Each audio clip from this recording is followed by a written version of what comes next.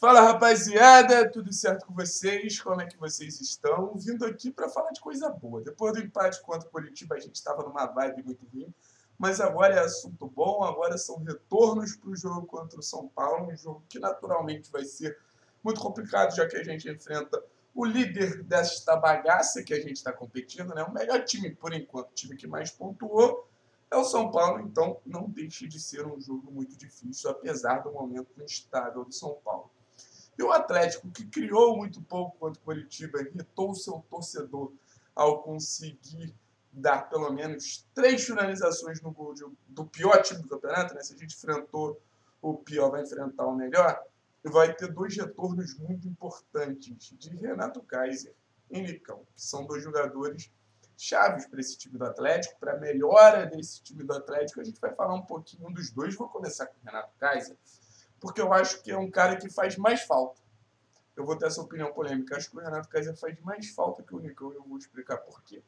Se a gente for pegar nas estatísticas, desde que o Renato Kaiser chegou no Atlético, ele tem é, números muito bons. São seis gols, uma assistência e principalmente é o cara que faz gols que decidem três pontos. Mais gols que decidem três pontos. Já foram quatro gols que foram providenciais para a vitória. Nem Marinho, nem Thiago Galhardo, mais ninguém fez isso no, no Campeonato Brasileiro, isso só demonstra o seguinte: o Atlético é o time que faz o gol com o Kaiser, vai lá, bota a bolinha dentro da rede e depois, ó, fecha a casinha. Fecha a casinha. E para ter essa possibilidade de fechar a casinha, a gente precisa ter uma eficiência lá na frente. Uma eficiência que na principal competição do futebol brasileiro, nem Bissoli nem Walter mostraram.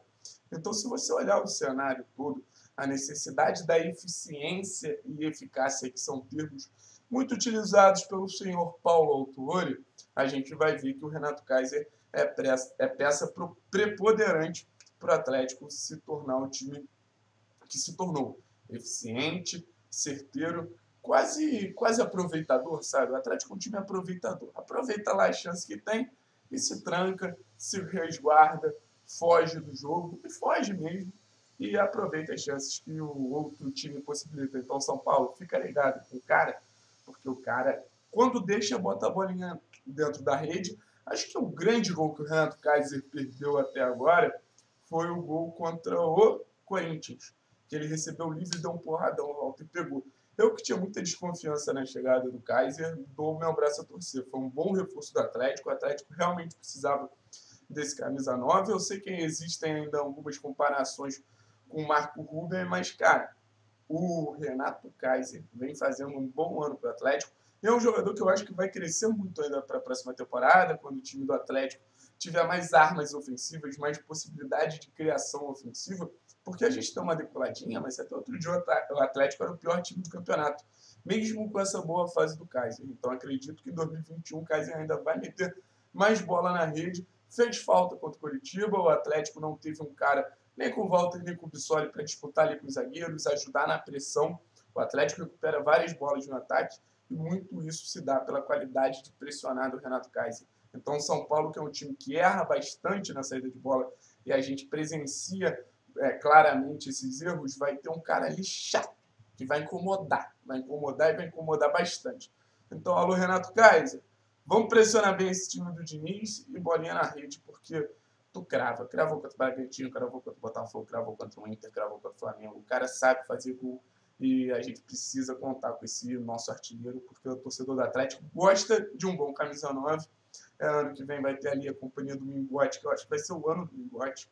Mas por enquanto é o titular absoluto com folga, mesmo eu achando que o Bissoli merecia mais minutos. E o outro cara é o Nicão, né?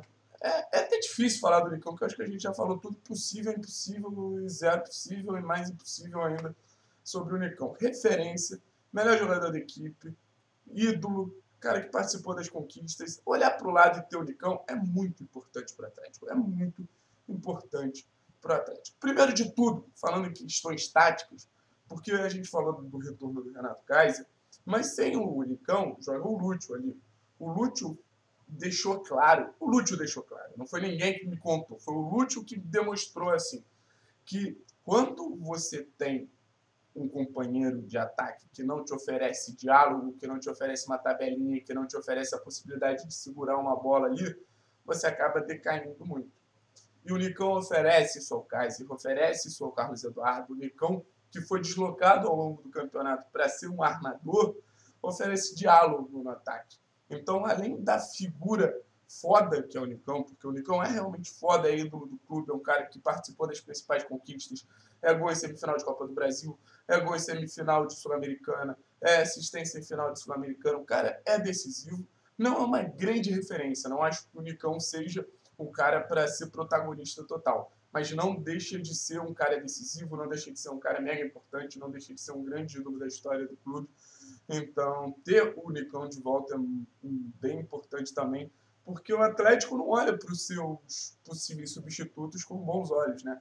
Jorginho, Ravanelli, esses caras não jogam. Então, é Nicão ali na armação das jogadas e tudo mais. E o Atlético tem uma estatística muito interessante, que eu não acho que seja exclusivamente uma Nicão dependência, mas eu acho que pode dizer alguma coisa. Que o Atlético sem o Nicão tem um aproveitamento ridículo, de 18%. Curitiba, por exemplo, tem 25%. Então, são situações assim que a gente olha e fala, caralho, o Kaiser é o cara mais decisivo. Sem o Nicão, o Atlético tem um aproveitamento vergonhoso. Então volta, irmão. Então volta, porque a gente vai precisar, vai pegar o líder do campeonato, um jogo difícil. E mais do que isso, e mais do que isso, acho que esses dois dão moral, dão confiança para a equipe.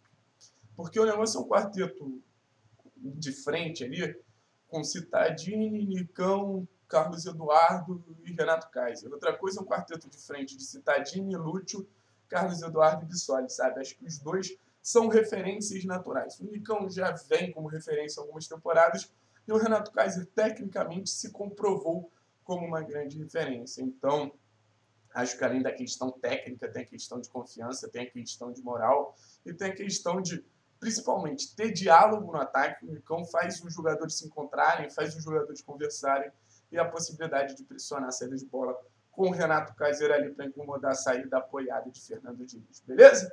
Então é isso, rapaziada, mais um vídeo. Fiquem ligados que daqui a pouco tem mais conteúdo aqui no Três Pontos, beleza? Tamo junto, é nóis, viu?